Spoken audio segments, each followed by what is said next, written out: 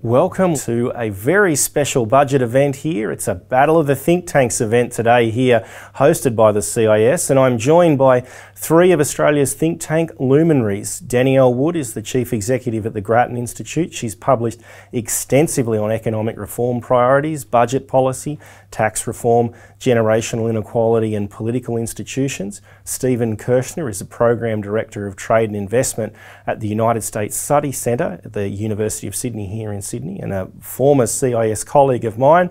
And Emma Dawson, last but not least, is the Executive Director of Per Capita. She's a former Senior Advisor on Digital Inclusion at Telstra, um, an Executive Director of the Institute for a Broadband Enabled Society, and a Senior Policy Advisor in the Rudd and Gillard governments. Ladies and gentlemen, and fellow panellists, thank you for joining us today. Be here, Simon. Thanks for the invite.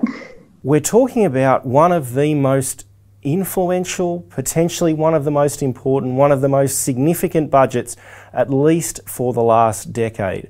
We are facing now a $214 billion budget deficit, raising about half a trillion dollars of deficits across the forward estimates, and more than a trillion dollars of debt is now barreling down at us here in Australia. And from my perspective, before I throw open to the panellists and their views on this, just wanted to give you a sense of my take here. I think this is a missed opportunity for the government. What they have done and it is to their credit, they're focused primarily on short term initiatives that won't have a long term impact on the budget, but they have missed an opportunity to entrench the kind of reform agenda that Frydenberg has been talking about for months now. He's talked about Hawke, he's talked about Keating, he's talked about Thatcher, but what we have instead is a short term temporary stimulus budget aimed at pushing money out the door in the next few years, a hundred odd billion dollars in welfare payments, a hundred billion dollars worth of business incentives, um, so bringing forward some of the tax cuts. But the kind of longer term thinking, the kind of longer term reforms that may have seen the government leave its stamp on the budget here have sadly been lacking. And what we've seen instead, I think, is a government that is trying to reap political benefits from short term spending rather than lay out a long-term economic agenda. However, the panellists may have a different view. Danielle, what's your take on what has been an extraordinary budget? Uh, thanks, Simon. Um, and I look, I absolutely agree with the point that this uh, is the most important budget in quite some time. Um, look, I, I disagree with the fundamental point you just made that the priority should have been on supply side reforms in this budget. We're off to a good start then. A bit of disagreement right up the front. The priority now, given the point we are at the economic cycle, is absolutely stimulus and fixing demand. Uh, we, we probably agree about a lot of the supply side reforms that should happen, but you know, this is not the right moment in time for that. The priority had to be on stimulating demand. Um, look, I think it's a big budget. Um, it's one that I I would characterise as a high risk economic strategy. And I, I, I characterise it that way because essentially I think the government is really backing in strongly that idea of the private sector recovery. Uh, most of the big measures are ones which go to business cash flow, trying to create an incentive for business investment and hiring. Um, I don't mind those measures. I, I, don't have anything against them per se, and I think they are reasonably well designed for the purpose. Uh, but my concern is that the major brake on investment um, both in this crisis and even before the crisis, has been weak consumer demand. And it's not clear to me where that's going to come from. Um, the budget is forecasting basically zero real wages growth for the next four years. That's going to mean it'll be about a decade before any of us have enjoyed a pay rise. Um, you know, that's hardly the conditions for a consumer led boom. Um, tax cuts will help a bit this financial year. Um, you know, I think we will see some boost to consumer spending. Um, just before this webinar, I started to look in more detail at what was being proposed there and what I thought was happening, which was the offset being brought forward this year, isn't actually going to be brought forward until July next year. So um, it may not actually have the immediate stimulus effect that um, I initially thought it would have. Um, so my concern is really that they're putting the investment cart before the consumption horse, and we're going to miss um, a crucial opportunity for recovery in the near term.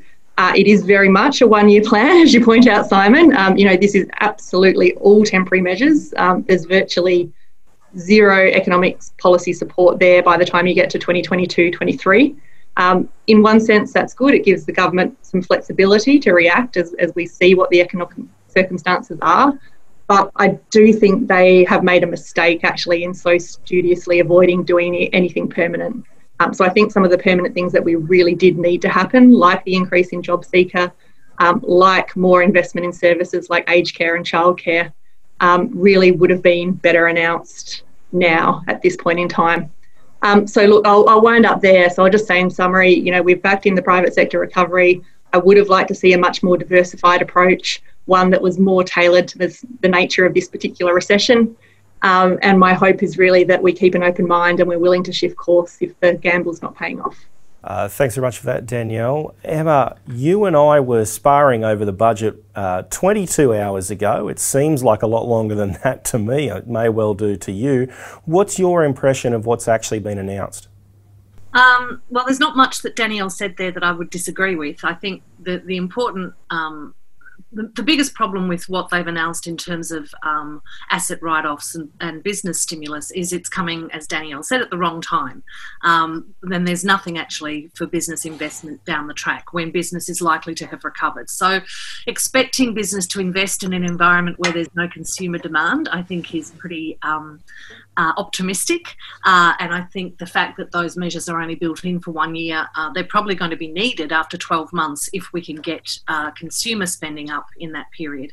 There's nothing really that directly targets that consumer spending. The tax cuts, um, whilst, while, while I don't object to bringing forward stage two, I actually suggested that that need, was needed even before the last election. I think um, they should have been coupled with more direct provision of, of income support for those at the very lower end, including an extension of job seeker, a permanent increase to that, um, and investment in more shovel ready infrastructure projects like social housing um, and investment, as I was you and I were sparring about yesterday, Simon, um, in the care economy, uh, lifting uh, childcare places, and making childcare more affordable. We know that will get women back to work. Danielle's recent report um, showed that you know a five uh, you know, increasing the rebate to 95% would, would bring a return of $11 billion a year just through women's workforce participation.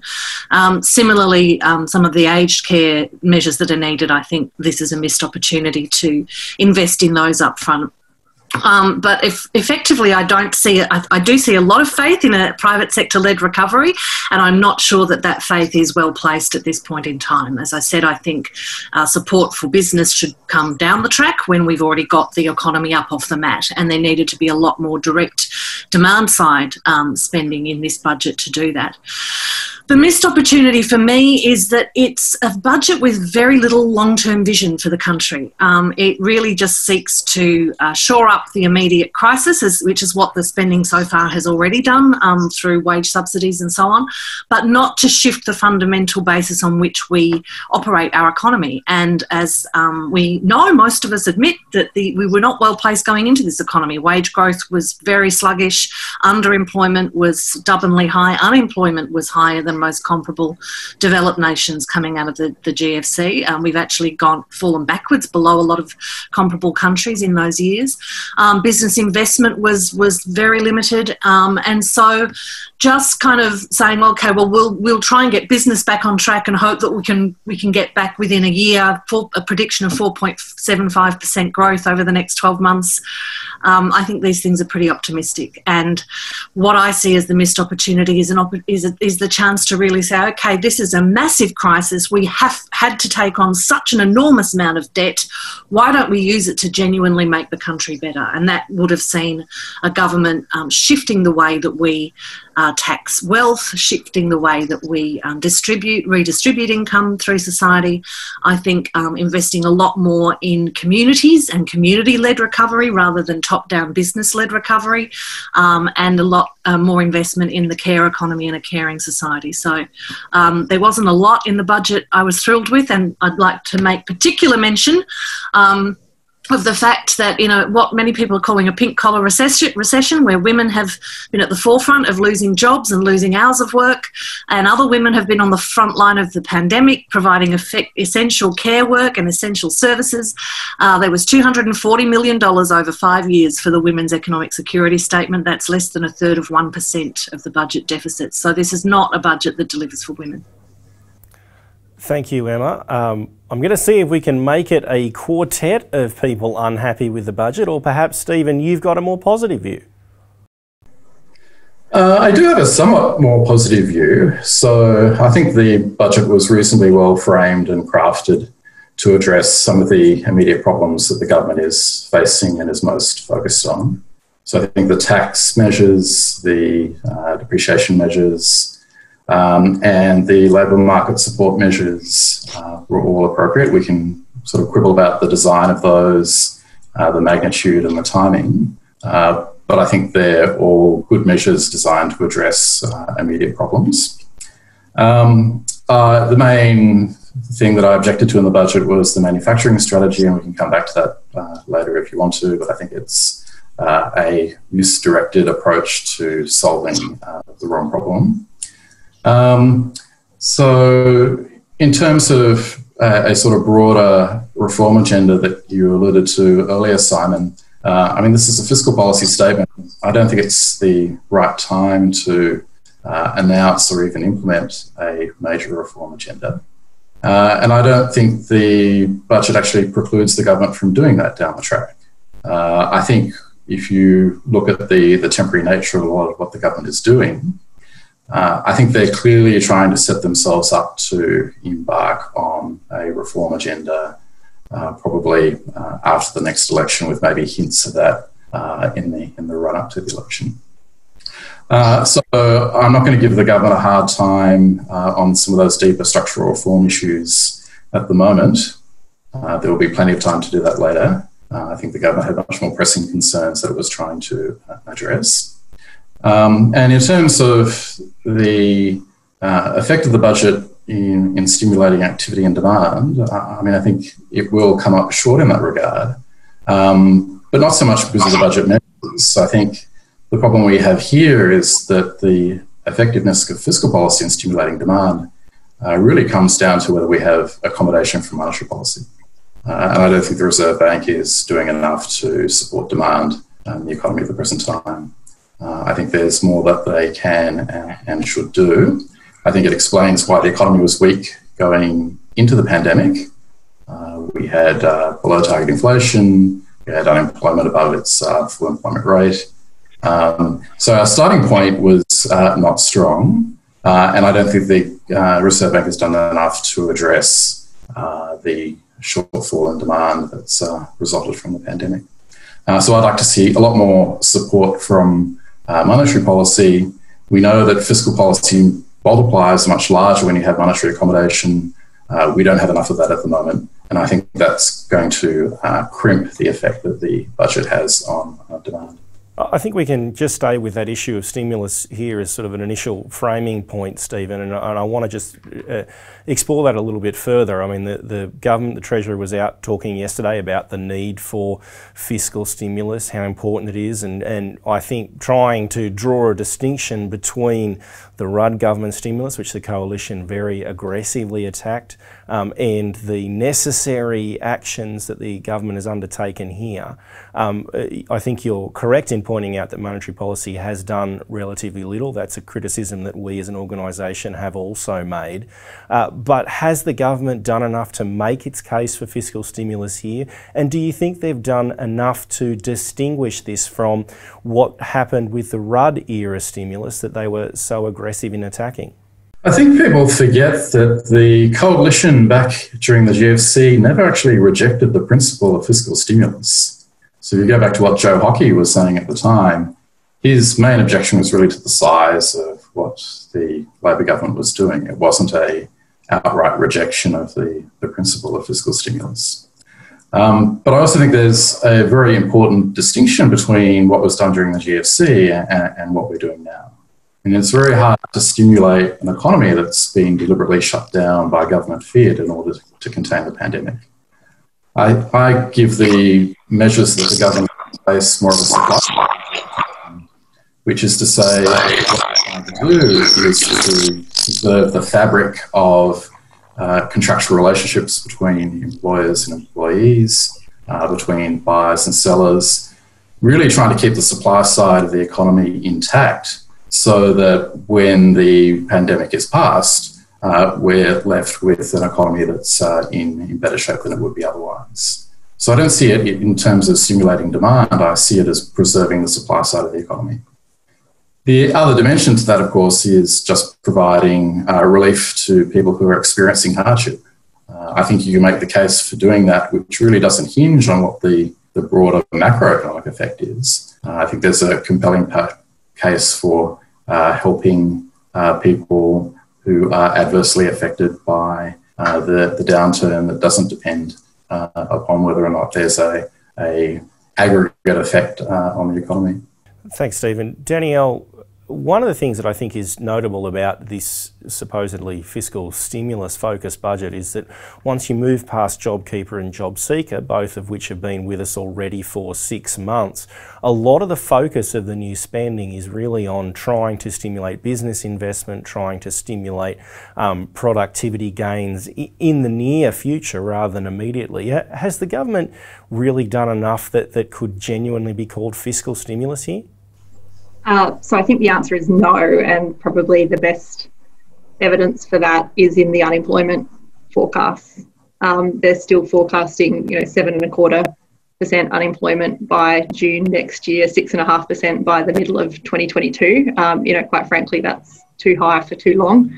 Um, as you say, most of the measures or a lot of the key measures are around business investment, and as I said, you know, I think it's part of the puzzle, but um, more traditional stimulus is obviously trying to um, boost aggregate demand and, and consumption.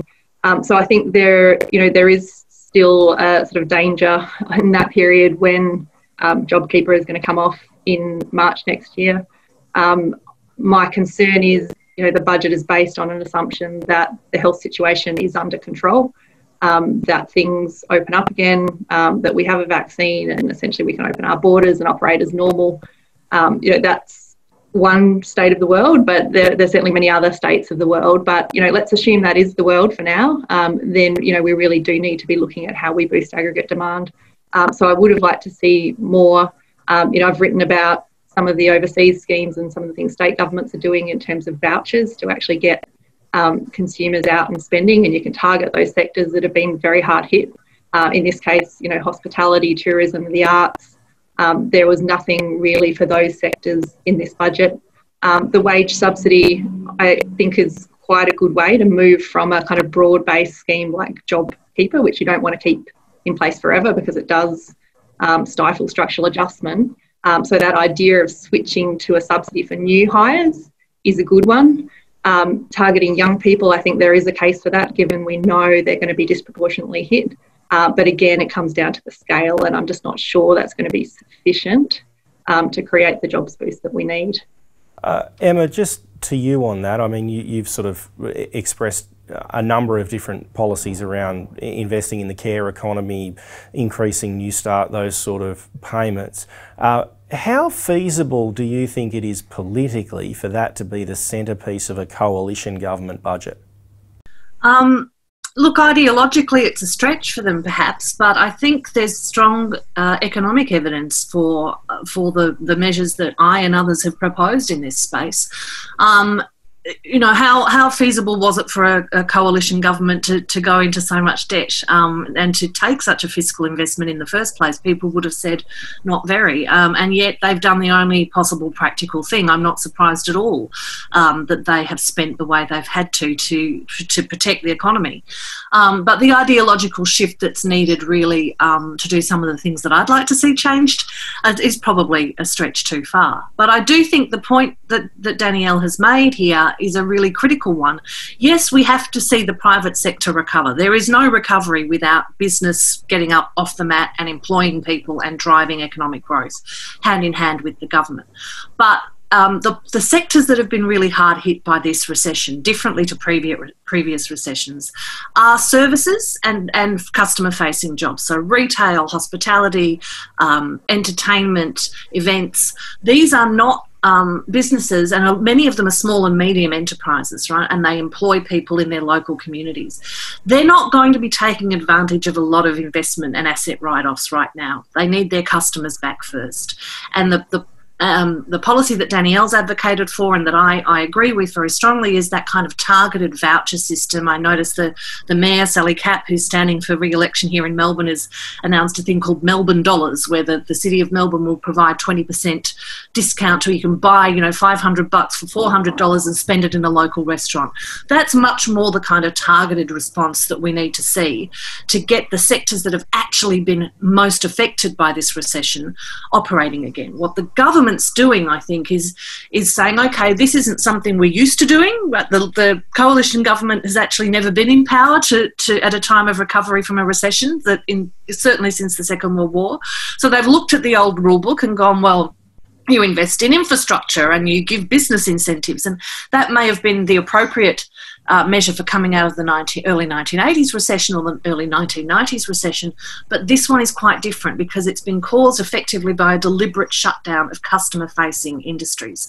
And those measures are not going to get those customer customers back to those businesses anytime soon. So even you know, if I, we weren't going to get the kind of big ideological shift that I, as a social democrat, would like to see, and an investment in care and an investment in women's jobs and a lifting of the, a permanent lifting of the unemployment benefit, all of those things are economically val- valid as well. But we could have seen a much more targeted fiscal response, even within the government's own ideology, I think, and they, they haven't done that. Uh, just as Anthony Carr has pointed out in the comments, and, and I'll throw this one to you as well, Danielle, because I think this is relevant. Uh, he asked the question Is it logical to shut down an economy and stimulate the economy at the same time? We're talking about sectors, retail, tourism, uh, you know, is there any realistic chance that, that those industries are going to recover to anything like their previous level, given where we are with the virus now and where we reasonably expect to be for the next 12 months? I mean, is there a case to say that what we really need to do is facilitate some structural change because that structural change will happen no matter what? Um, so I think I think it's kind of conflating two points. So I think there was a period in time when things were were shut down and Stephen's already alluded to this, where you're definitely not talking about stimulus. You were talking about support, which was, you know, helping the bridge we heard a lot about, you know, businesses get to the other side so we didn't take a hit to the productive capacity of the economy. That was the doubling of job seeker, that was JobKeeper, you know, was fundamental to that period. Um, we are now in a world where things are starting to open. I'm in Melbourne, so probably the least open of any parts in Australia, but my understanding is some people have much more normal life in, in other parts of Australia, and we certainly hope that we'll be there soon too as well. Um, so, premised on the idea that we can get the virus under control, then we are in that world where we're talking about stimulus and helping boost demand in those sectors. Um, if we get another flare up of the virus, agree back in a totally different world and we're having a totally different economic conversation. Um, but the other part of your question, really, Simon, is you know, are there parts of the economy that you know even in that post-virus world just aren't going to come back. Um, you know, retail might be one example. You know, have we fundamentally shifted to online purchases so that you know we're just not going to have as many CBD retailers as we once did? Um, and I, I, think that probably is the case. You know, this will lead to some fundamental shifts in behaviour, which means there are some businesses that are not going to survive. Um, and what we've, what the government's needed to do is kind of calibrate the settings so that far as possible protecting productive capacity, but you can't keep those supports in place forever because that structural adjustment will need to happen. Um, and I think the way they've done that is quite good. Extending JobKeeper, transitioning it down, retesting eligibility, um, all of that makes sense. And if you look at all the new measures, they're all focused on going forward what you know hopefully will be the set of businesses that are sustainable in the longer term. I suppose that leads us fairly naturally to the issue of the assumptions that underlie, particularly around the coronavirus assumptions in the budget. And, and to be frank here, a lot of them seem to be either quite optimistic or simply just, you know, wild ass guesses.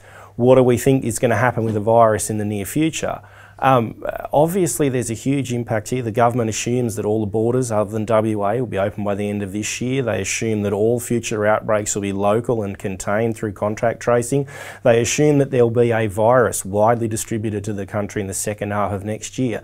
They implicitly assume, if not explicitly assume, that similar things will occur in our major trading partners. Uh, how realistic are they, Steve and Emma? How realistic are those assumptions? And what happens? What happens to the economy and the budget if they don't come to pass? Well, I think this goes to the point that we are hostage to the course of the virus, and we're not alone in this. I think this is true for the world economy as well. Uh, I think what's happened in Victoria demonstrates that in many ways the rest of the country is sitting on a knife edge. It would be very easy for the virus to run away on us. Uh, and so, one of the things I would have like to have seen in the budget actually was a greater focus on maintaining uh, support for the public health measures that were put in place earlier during the pandemic. Uh, I think we need to resource things like uh, contact tracing and testing. Uh, I think we need to do things like scale up managed isolation and quarantine capacity. Uh, so you know, we need to keep a, a focus on containing the virus, but the other problem we have, of course, is that even if we are successful in suppressing or even eliminating the virus in Australia, it's still going to be rampant internationally. And this has implications for our ability to reopen our borders. So, as long as the virus is prevalent internationally, this is really going to limit key external sectors of the economy. And so, what I would like to see is much greater attention to how we can safely uh, reopen the borders uh, recognizing that you know, international travel is going to be expensive, um, managing uh, border controls is going to be expensive. Uh, I think these are areas that probably need greater uh, resourcing uh, because we, as a small open economy, we need to be engaged with the rest of the world, and that means having cross border people flows. Uh, at the moment, if you look at the, the, the net migration numbers that the government has put forward, uh, they seem to be assuming that those cross border uh, flows are going to be pretty limited for the next few years. Uh, and so I think this is, this is a problem in, in many ways. Um, by successfully containing the virus here, we actually make it even more costly to reopen the border because in doing that, we put at risk some of those gains. Emma, the trade-offs uh, between you know the economic conditions and the, the health concerns have been a fairly significant impact to the debate leading up to um, and coming out of the lockdown in Melbourne. There isn't really a lot in the budget and certainly not in the Treasurer's speech about any of those trade-offs. Do, do you think that's something that they've missed out on or is this simply a case of the figures need to assume that this is going to be under control? Um, I think they, in order to project an optimistic um, fiscal outlook, they have assumed that the that the virus is going to be under control. I think a lot more. Uh, I think a lot more optimistically than than is realistic, to be frank. Um, so the idea that we'll have a fully effective vaccine and uh, you know that that vaccine will have been provided to sufficient numbers numbers of people to create um, herd immunity within the next 12 months I think is a is a stretch. Um, it's a coronavirus which is more like the common cold than the flu and we've never actually successfully developed a vaccine for a coronavirus um, and we're trying to do this very very quickly. So I think that's the first big assumption and I'm, I'm no epidemiologist but all of the experts will tell you we should not be counting our chickens on a vaccine anytime soon. I think Stephen's point about the borders and the, the fact that um, international movements of people is likely to be restricted for some time is, is a really big issue. And it doesn't match the predictions for growth um, in the economy. Because if you think about, other than um, minerals and resources exports, two of our biggest um, industries are education and tourism. Now, those are not going to come back anytime soon as long as our borders are closed. And those are industries that we're going to see, we're already seeing massive job losses in the tertiary sector. There's been no support really for that sector, in fact, quite the opposite. Um, and there's nothing really in this budget that targets, effectively targets supporting those tourism businesses that are affected as well. Again, they're employers of women, um, dominantly, predominantly employers of women. So um, uh, one of the other areas that is affected by this, of course, and, and I'm getting back on my, my hobby horse here, but is the care sector. Um, actually, a third of workers in the care sector and half of workers in the aged care sector now are overseas born. They're migrants, a lot of them come in on temporary working visas. So we're going to need to replace those workers over the next uh, two to four years as well. Um, well, the government did announce an, an additional 23,000 home care packages. It, it, seems to me at least moderately reasonable that they'd wait for the findings of the Royal Commission uh, before they announced a more substantive package in the aged care sector. Uh, do you think that this is just not enough? Um, 23,000 is about a quarter of what's needed to close the waiting list for home care. And uh, there's no, it's very welcome, don't get me wrong, it's very welcome. It's actually the number one thing that we need to focus on, and the Royal Commission made that clear in its interim report in aged care was home care packages. Um, I'm, I'm, waiting to see the detail of whether those 23,000 are uh, level one packages or level four, which is the level four is the package that's really hard to get and that is the one that keeps people out of residential aged care.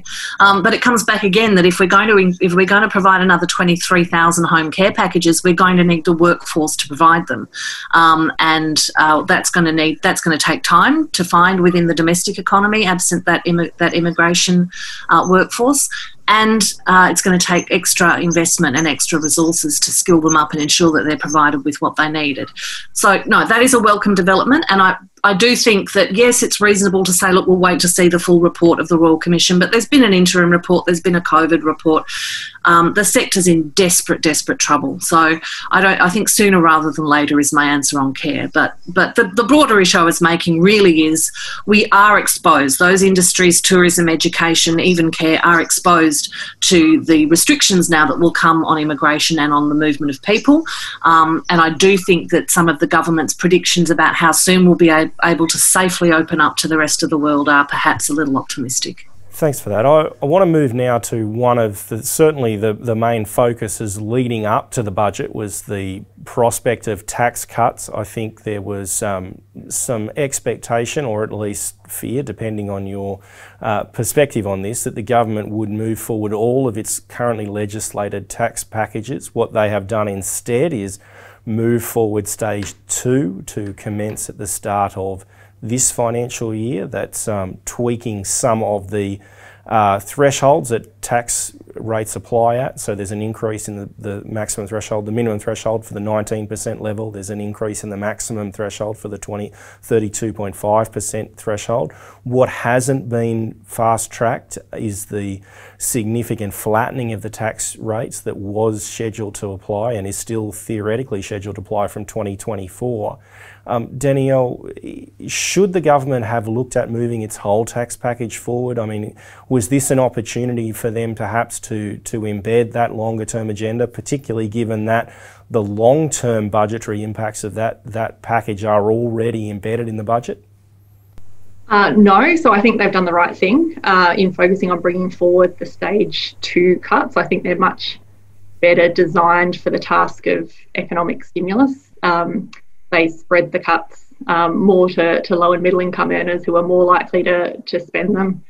Um, the you know the stage three cuts. Um, the, the, big concern I've always had with them, um, you know, and we can we can talk about the fairness considerations and there's different ways you can look at that. But um, you know, they, they say it's tax reform. Essentially, it's it's pulling out a bracket. Um, it, it's not reform in a meaningful sense, and they do give away a lot of revenue. Um, I would have liked to see a real personal income tax reform package. Um, so, one that looks at um, the huge number of offsets that exist and how we can come up with a more sensible structure. One that looks at tax concessions, rebates, um, all the complexities that feed in that mean that people that earn the same income but from different forms pay very different rates of tax uh, and package that in with tax cuts, with, with cuts to rates, uh, but try and broaden the base at the same time. And my big concern with the stage three is that essentially you're giving away the revenue but without the longer term reform. Um, so I think you know locking that in now would have meant again that opportunity was missed. Um, so I would still like to see uh, tax cuts in there in the future, but as part of a more comprehensive tax reform package, because taking out a bracket is not reform in my book. Uh, Stephen, you did a lot of work with Robert Carling in relation to tax cuts and tax structuring while you're at the CIS. Robert um, has expressed some concerns in the press release we've issued today about the likelihood that stage three could now be or is perhaps more likely to be abandoned come 2024, given the likelihood for at least one election between now and then and the, the difficulties in in selling uh, tax reform or tax cuts to higher income earners. Has the government missed its opportunity here whilst it's handing out $200 billion worth of benefits to, to various groups not to lock in the final stage of its, its tax cut agenda? I certainly would have supported the government doing that, uh, bringing the tax cuts uh, forward uh, in, in, whole, if possible. Um, I think it's worth recalling that really what the government is doing is just handing back bracket creep, and in that sense, I don't think this counts as reform. Uh, we have this sort of cyclical thing in Australian budget politics where we, uh, because we don't index our tax thresholds, uh, uh, over time, you get an enormous amount of bracket creep, and every few years or so, the government turns around and, and hands it back. Um, and this is not a, a tax reform, this is uh, just re- easing what had been an increase in the real tax burden uh, while that bracket creep was allowed to take place. And it's interesting, of course, to note at this point in time, given our current inflation levels, indexing tax brackets would be cheaper now than it's ever been. Mm, yeah. So I think tax reform you know, remains uh, an unfinished uh, project. Uh, you'll recall the, the coalition government uh, in a previous term uh, made an effort to restart a tax reform agenda. they didn't make much progress. I think it's something that they should come back to as quickly as possible. Uh, obviously, corporate tax reform should be uh, a part of that effort as well. Um, the what the government has announced today, of course, doesn't preclude uh, an effort on tax reform uh, that might be announced uh, perhaps in the run up to the election and then implemented after the election. Uh, it's something the government could campaign on if they chose to do so. Um, but in terms of the immediate benefit that you would have received uh, from bringing forward those tax cuts. The, the government has not done as much as it could have.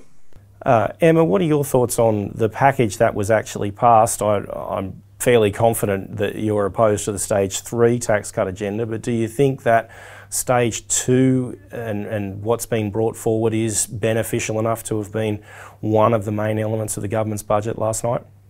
Um, yeah, so I'm relieved stage three wasn't brought forward. Like Danielle, I think that would be locking in um, a fairly big hit to government revenue without the um, offsetting genuine reforms that are needed to to make that valid. Um, and I, I do see the um, the elimination of that of that um, tier of the tax uh, system as effectively flattening our tax system and, and making our system much less progressive. I've long advocated for bringing forward a stage two, uh, way back before the last election, um, when the economy was pretty sluggish. I thought that um, tax cuts that were aimed at low and middle income earners were a good thing. As Stephen said, they do address, address um, bracket creep. I think they could have been slightly better targeted, but I'm not going to quibble with that at this point in time. Um, so, no, I'm not upset to see stage two come forward. Um, and I think they could have been coupled with more support for those at the lower uh, lower end. But um, in, in and of themselves, I have no objection to that. But like Danielle, I don't see this as reform, and Stephen, I don't see this as reform. This is not the tax reform reform that we need long term. Um, and one of the big issues in Australia that we have is that we, re- we are overly reliant on income taxes. And if you want to make arguments about the disincentive to, to work and to progress up the income ladder, then that's a valid one. Um, because what we really need to do is look at how we tax wealth uh, in this country, and we don't tax wealth effectively at all.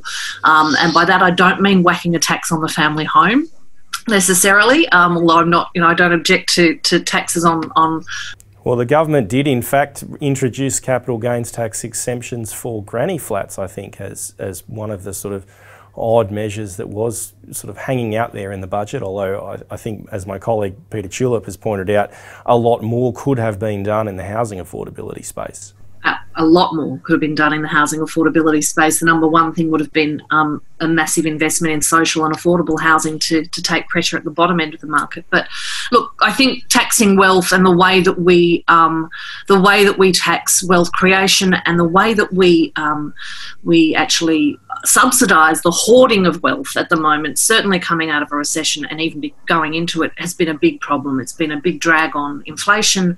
There's been a lot of money, a lot, uh, you know, hoarded at the top of the income or the top of the wealth tree, and not enough moving through the economy. And I don't see much in this um, budget that will change that. In fact, you know, I've seen a couple of comments from people. Vox popped about the tax cuts today, and both of those I've seen so far. I said, "Oh, this is great. It will help me build back up my savings." Um, so we actually need that money in in the economy, moving through the economy. Uh, and so I think uh, thinking really thinking creatively about how we can uh, shift our reliance away from um, income tax a little and more onto wealth tax would be the reform that we need or consumption tax, although it's very difficult, I suppose, Danielle, to introduce a tax increase agenda um, in the current environment. Uh, I think, you know, given where the government's at at revenue, the fall in revenue that it's got now, uh, it, has got to be very wary about announcing anything that looks like a tax increase on ordinary people, doesn't it? Uh, yeah, I actually think if you want to talk consumption tax in the current environment, you'd be talking about a reduction, a short term reduction in consumption taxes. Um, uh, more direct support really than, than personal income tax cuts because it actually means that every dollar of revenue lost is a dollar consumed in the economy. Um, so yes, I don't think we're in a world where we're talking about tax increases. Um, you know, the government needs to be looking at supporting the economy over the next few years, uh, and quite frankly, that means um, budget deficits and, and racking up debt, which is exactly what was announced last night.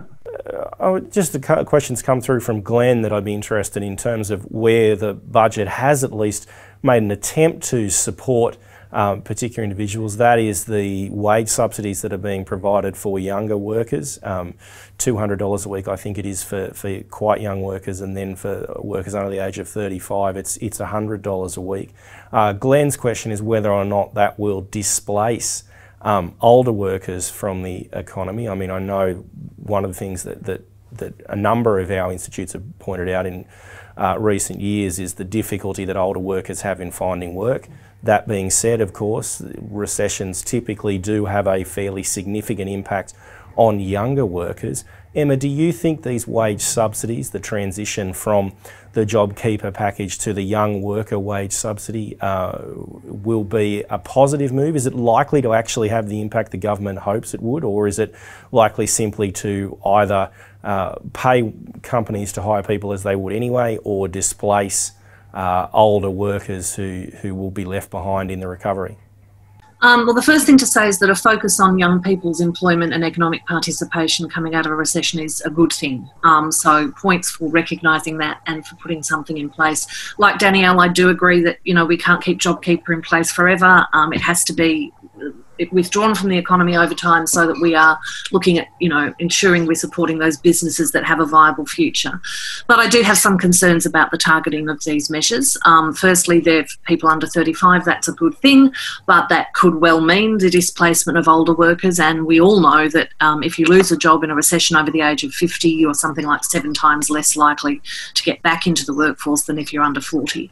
Um, the other concern I have with them is it's, you know, it's $200 a week for anyone up between 16 and 30, $100 between 30 and 35, and you only have to work 20 hours a week. So I think that the majority of them may well be taken up by uh, retail and hospitality businesses hiring younger people on part time contracts to do work that is fundamentally insecure and not going to lead really to long term um, economic security and, and the, and the um, their ability to secure full time permanent jobs with career paths.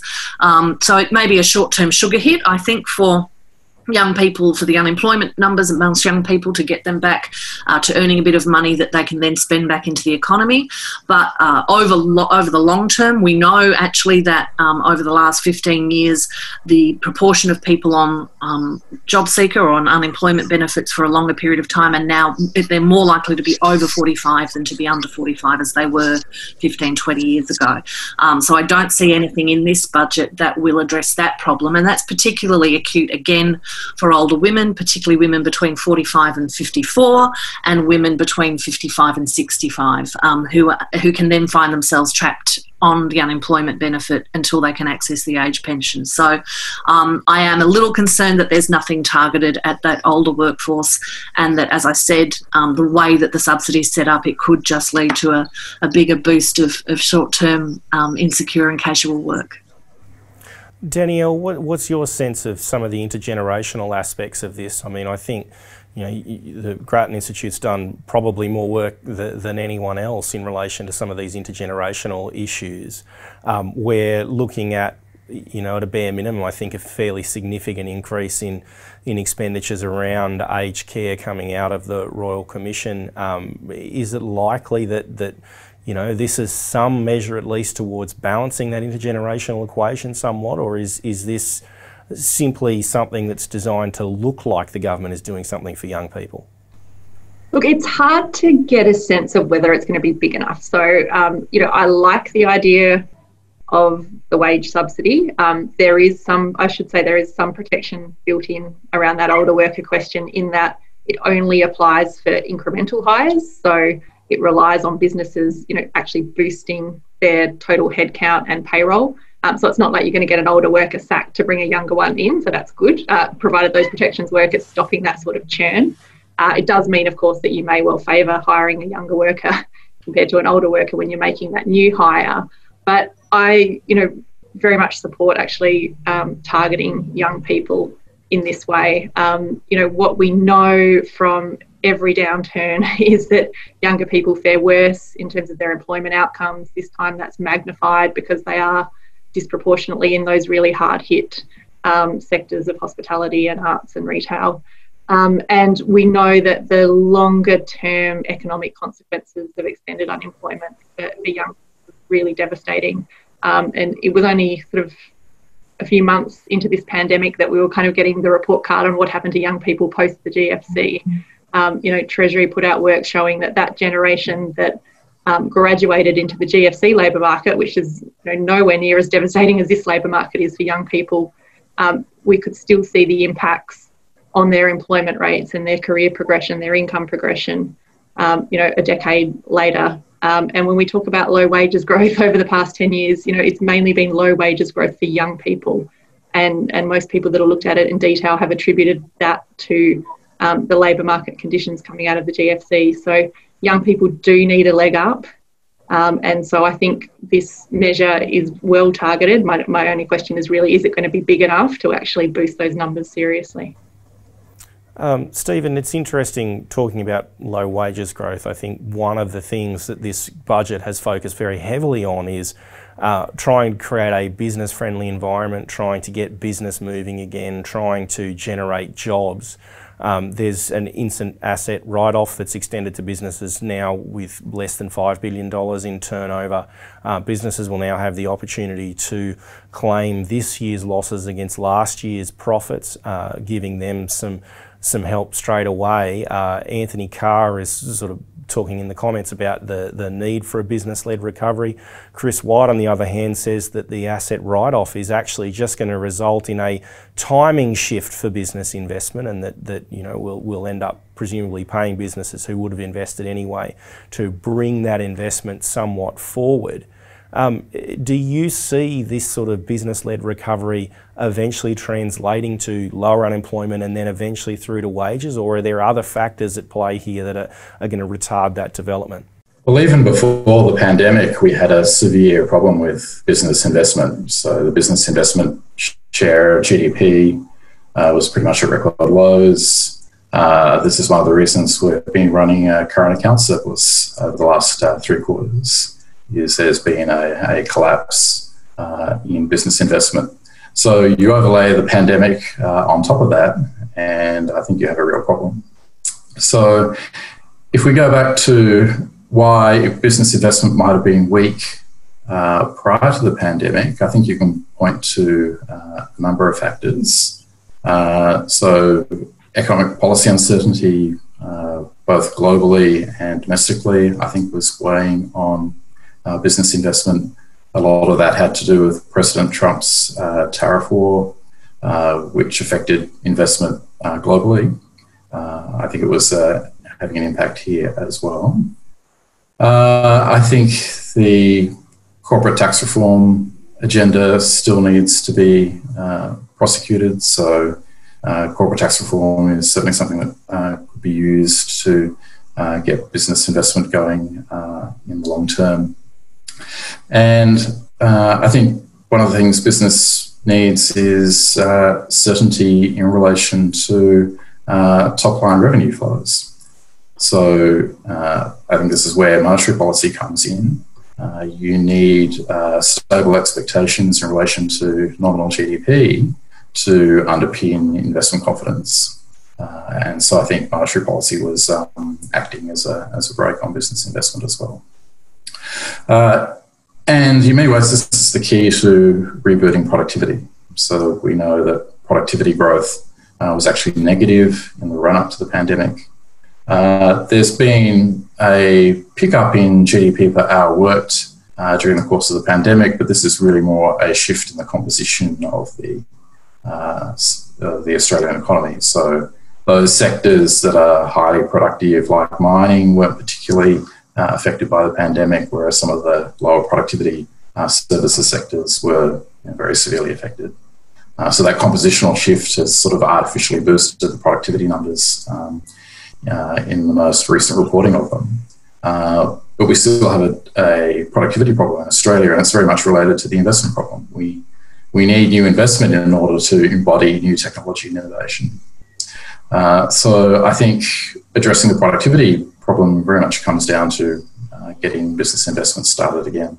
And the, the, two big things I would do there is uh, getting the corporate tax reform agenda back on track uh, and trying to minimise the effect of economic policy uncertainty. Uh, and I think we'd strongly support those recommendations. I think one of the disappointing things, at least about uh, the government undertaking the investment allowance approach, is that they have made it temporary rather than uh, having perhaps a smaller, uh, an initial benefit from that investment allowance, but making it more permanent so that there is that level of policy certainty going forward. Um, Emma, you've talked a lot about the need for government investment, particularly to make up the shortfall here on the private investment side. Um, I'm interested in your thoughts on that, but specifically as well, how do we then transfer from that high level of government investment to a higher level of private investment? What's, what's the transition mechanism that gets private investment back on track in, in your view? Well, I think this is this is the crux of the issue. Um, long term, we absolutely and Stephen's absolutely right about this. We had a big problem with business investment going into this recession, um, and I think the the problem here is that we've got this backwards. We're asking business to invest now, um, rather than government to do the, the heavy lifting in the crisis with a view to moving to business investment when the economy is more stable. So my my preference would be, and it, and it, it builds on the sort of traditional approach to responding to big economic downturns, is for government to, in, to put what you might want to call seed funding um, or some investment into uh, getting businesses back up and running. And that, as we've talked about, could be the direct provision of, of um, income to people to spend in those small and medium businesses that have been affected, but also a targeted use of government uh, policy, not necessarily direct cash injects, injections, but government procurement policy, research and development, tax concessions, and yes, some asset write off, but, but as you say, perhaps smaller and spread over a longer period of time to allow allow business to invest in future jobs, um, to, to invest in productivity enhancing technology, to take advantage of some of the opportunities in things like lithium mining and um, green steel, which is something the Grattan Institute's um, written very persuasively about, that can be the industries of the future that are going to employ people not just for the next five years, but for the next 50 years.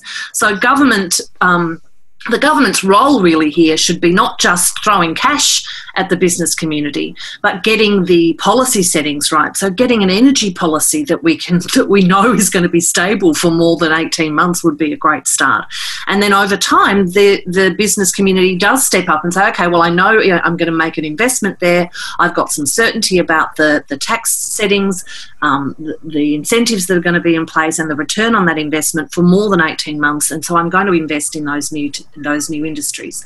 What we've got here is an expectation that that business will rush to sort of take an asset write off um, and invest at a time when they have very low consumer demand, and there's still a great deal of uncertainty around a lot of those industry policy settings that we've had now for a decade. So expecting um, the business sector to do that kind of um, injection of, of investment now when all of those other settings are missing, I think is pretty optimistic and kind of ignores that the role for government should be creating putting a floor under the economy, lifting consumer demand, and creating the kind of certainty in our tax and transfer system and in our um, investment incentives that allow business to pick up that heavy lifting over time. Uh, thanks for that. I'll just very quickly before we shift to our last question. We've just about reached the end of our hour. I know it's gone very quickly for me. Hopefully, it has for the viewers as well. One area, Danielle, where they have announced um, a significant investment from the government is in infrastructure spending. Uh, you, your institute's written a fair bit about that. Do you see the likelihood that another ramp up in infrastructure spending will simply result in more waste and more of the government's money being spent on the wrong projects? Uh, yes, I do. I do think that's a real risk. I think you know, in terms of the stimulus measures in the budget, that was the least stimulatory. um, so you know, it was the most substantial on the, the spending side, of additional $10 billion in transport infrastructure. Um, not generally great stimulus because it's not particularly labour intensive. And when you look at the pipeline of major projects, uh, it's already incredibly significant. We were talking about hitting up against capacity constraints pre COVID. Um, yes, some of those were slowed down because of um, the, the lockdowns and social distancing restrictions, but they're still there um, you know, they're still ready to ramp up again. And pumping money into a sector that's, that's sort of close to capacity um, does not make a huge amount of sense. It's unlikely to create many new jobs, uh, and, and it certainly will put cost pressures on those projects. So, um, I, to me, it was the kind of the, the, crazy part of the budget, if you like. You know, if you're going to do stimulus, and I think there should have been more of it, um, you know, putting it into transport infrastructure is not the right place for it. Uh, thanks very much for that, and thank you uh, everyone who's contributed to the questions today. I, I want to just wrap up by giving each of you the opportunity to basically just mention one big thing that you think wasn't uh, covered or wasn't covered properly in the budget. Um, Emma, what's the big thing missing from your perspective from last night's budget? Um, where to start? No, I think. Look, I think the biggest disappointment. Try and limit yourself just to one big thing one rather big than a whole suite, given will, our, our time constraints. I will. I will wrap it into one big thing, which is a, a real lack of a gender lens on this economic reconstruction and a recognition of the impact this recession's had on women's labour force participation. So the big thing missing for me was a big boost to early childhood education and care, um, because not only does that benefit women's labour force participation, but every dollar we invest in educating children under five provides a $2 return over that child's lifetime. It's the best thing we can do to give children the best opportunity as well. So, childcare for me. Thanks, Emma. Danielle, what's the big thing missing from your perspective? I'm just going to backhammer home here and agree on childcare. Um, you know, it's absolutely important uh, long term reform. We have really high out of pocket childcare costs in this country, and it is a massive drag on workforce participation. Um, the reason we have some of the highest rates of part time work in the world for women uh, is because there is simply no financial incentive for them to work beyond three days a week. But even more important now in the pandemic, uh, we know parents that have lost jobs and hours are pulling their children out of care. Uh, what that means is, you know, as labour markets start to pick up and, and jobs become available again, uh, you are taking parents out of those potential pools for picking up that work, and that's particularly going to hit women. Um, so you know, they will be criticised for a very low key budget. And honestly, doing something on childcare would have been great for the economy, uh, great for women, and also an important long term reform. Yeah, I've Thanks just put for a link to Danielle's excellent report on childcare into the chat, so everyone should download. I'm glad that we got some plugs in it. I've been disappointed if we didn't. Although Emma, I do see your book hiding there in the background. Yeah, got Stephen, can you can you give us your uh, what big thing was missing from the budget, please? The thing that was missing for me was the strategy and the resourcing of a strategy for reopening the borders. The hit to net overseas migration over the next few years is massive, uh, and it's a big subtraction from the productive potential of the Australian economy. And I think there are legitimate questions we can ask the government about uh, what the plan is to get cross border people flows uh, moving again, because uh, without them, uh, I think the Australian economy will be uh, under realising its potential for many years to come. Fantastic. Look, thank you, Stephen, Emma, and Danielle, for your excellent contributions today. Hopefully, the viewers have gotten as much as I have out of that little uh, event that we've just run here in relation to the budget. Look, it's fantastic for us to have an opportunity um, to tap into some of the knowledge of, of, other think tanks in Australia. Australia's got a fantastic think tank market, and we do encourage you, obviously, to support the CIS, to, to join us, to become a member and support us, but also to check out the excellent work that their think tanks, the Grattan Institute, that Per Capita, and the United States Study Centre are doing on a lot of these issues. Uh, thank you very much to our panellists and also uh, thank you for joining us today. Um, if there is anything else that you'd like to ask us, please don't hesitate to approach us on social media and remember to join the CIS for future excellent events. Thank you. Thanks, Simon. Thanks, Simon. Thanks, everyone. Thanks, everyone. Bye bye. For decades, the CIS has been a fiercely independent voice working tirelessly to deliver evidence based public policy. We rely solely on the generosity of people like you for donations to advance our classical liberal cause. To find out how you can get involved with the CIS, click on the links on screen now. And to be notified of future videos, make sure you subscribe and click on that notification bell.